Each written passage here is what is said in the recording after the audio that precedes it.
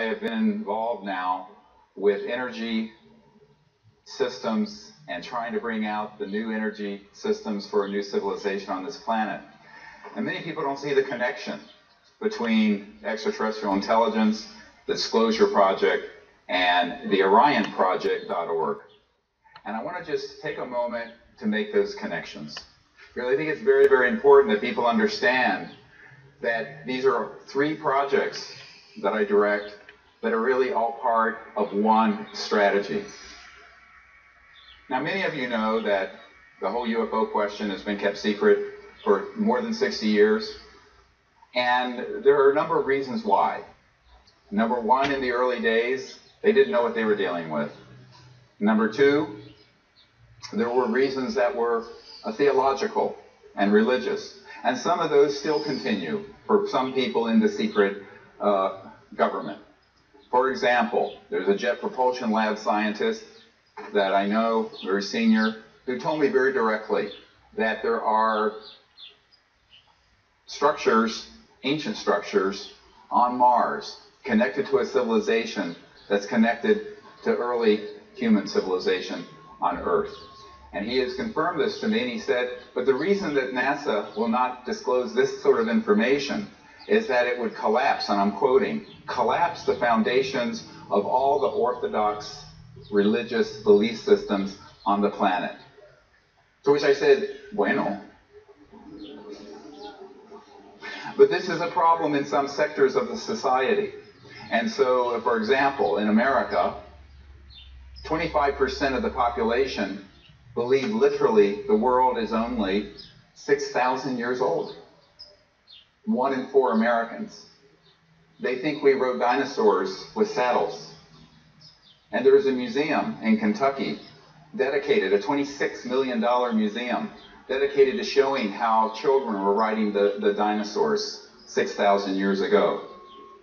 So there are people who don't want to hear the truth about many things. So that has been one of the reasons. And I know it sounds insane to any educated person and probably to most people in, in Europe and Spain. But in America, one in four people believe that. They're like children. Yeah. N'est-ce pas? Yeah. Idiots. just about Gary Cohn. Uh, he was a noted free trader or globalist. Will the president seek another globalist, another free trader? I'm not going to get ahead of the president's announcement on who will uh, replace Gary. Follow up on.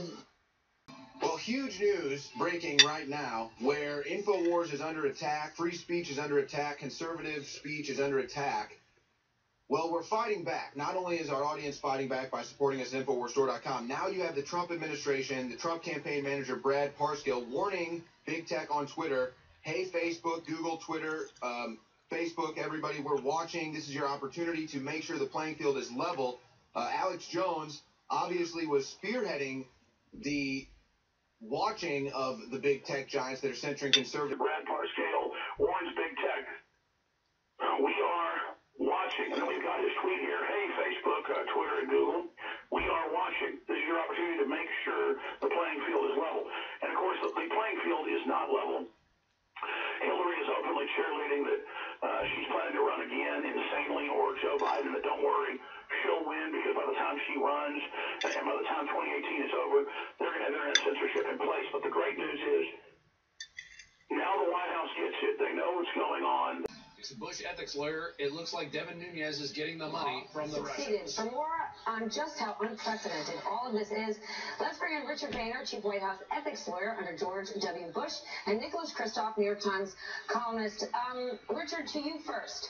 I want to First, get your Bush had an reaction ethics to? Bill Kristol's tweet because we have to separate the two. While this is unprecedented, it's ridiculous, we don't like it, it's unprofessional. What is it actually doing? What's hold on, pause it again. What's Congressman Nunes getting out of this? He is showing that the DNC paid for a fake dossier, fan fiction, or anti fan fiction. Literally, they had this British guy who hated Trump write fan fiction. I guess you would call it anti fan fiction about Trump with a bunch of hookers in a hotel and in Russia. And so he paid, and then this dossier was used, DNC paid for and the FBI paid for, was used to keep getting FISA warrants. You have to renew these every 90 days. 90 days. So they use this to do it every 90 days, and the FBI knew it was dubious at best.